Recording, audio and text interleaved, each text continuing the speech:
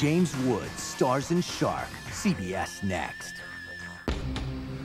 A man could kill from sunup to sunset, and still his work would never be done. Day shift guys came in, found him like this. You got something? One more chance.